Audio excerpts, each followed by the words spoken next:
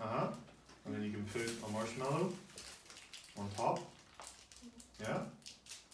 But then you have to make it as high as possible. You make it High. Two. And then two. And then two. Okay. А, понятно. So It's clear, you say. you can use marshmallows. Okay, guys, approach to the table. We will split you into two teams. Yes, maybe. So like yeah, so like you use little bits of marshmallow, stick it at the bottom, so it sticks on the table, and then stick a bit at the top, so you can put another. Uh huh.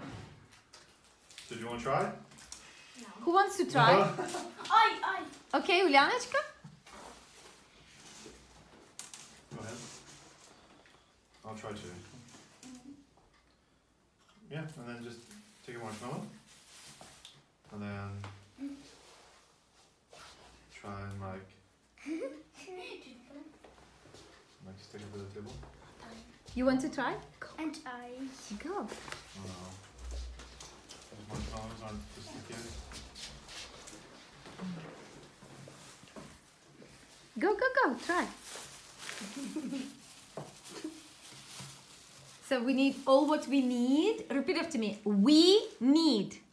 We need marshmallow, marshmallows, and spaghetti, right? Be creative. okay. And should be very high.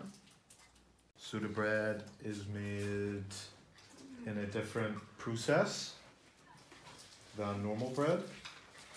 Veda bread is like a malted bread, and wheaten bread is like lots of grains, uh, lots of little bits uh, in the bread, very natural, very homemade type of bread. So, potato bread and soda bread are in this mill. Thank you very much, Druze Dyakuyu, uh, for the halupsi, smetana, uh, Prunes and sour cream. prunes and sour cream. That's the name of dessert, right? What's the name in Ukrainian? Of this dessert? Чорнослив, сметана. Джонослив сметани. Uh, Дякую, дякую. Okay. Yes. Okay, let's applaud everyone.